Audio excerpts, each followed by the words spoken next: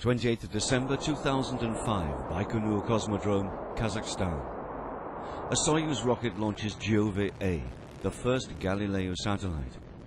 It's the start of the validation on orbit of the Galileo European Navigation System, joint initiative of the European Space Agency and the European Commission.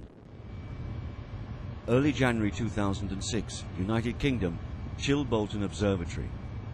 This 25-meter antenna receives the signals transmitted by Giove-A, that the satellite is working well, and the first ever Galileo signals from space. This is one of the priorities for Giove, to demonstrate that Galileo signals are using the frequencies allocated and that they can be acquired correctly even by small receivers to provide positioning with great accuracy. The Chilbolton antenna is pointed towards Giove-A for each of its flybys, tracking it to allow a fine analysis of the quality and the power of the Galileo signals. The basic mission of a Giove is on one hand to demonstrate that we have the right payload technologies developed in Europe. So we are, for example, carrying very accurate clocks, these rubidium clocks. But on the other hand, we have uh, uh, to observe and occupy our frequency bands we have applied for we are transmitting very sophisticated signals in different bands.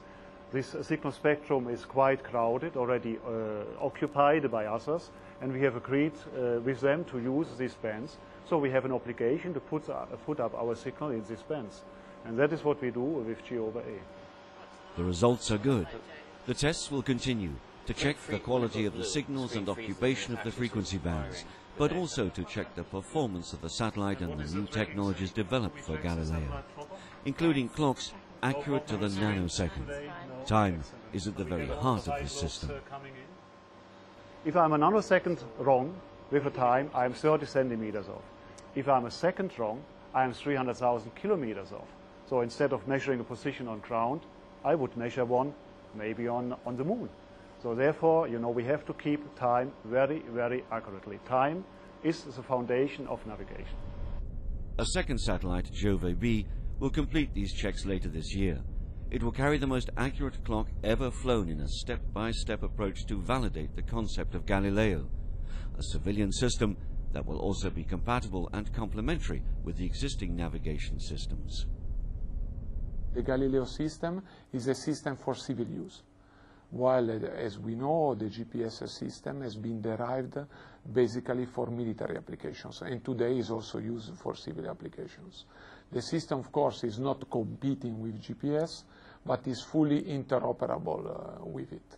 And we have demonstrated in these days, uh, through the operations conducted here in Chilbolton, that the two systems could fully live together. That means a user that acquires and tracks GPS satellites can also track Galileo satellites. So, no interference between systems. And ESA is now carefully preparing Galileo's overall offer, which means guaranteed integrity and continuity of services. Galileo will uh, offer a number of services.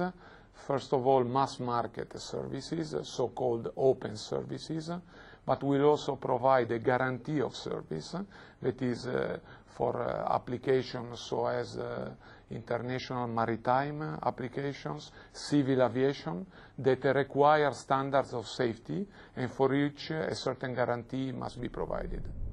By the end of 2008, a mini constellation of four satellites will complete the on-orbit validation of the Galileo system. Then 26 satellites will complete the constellation for operational services by mid-2010.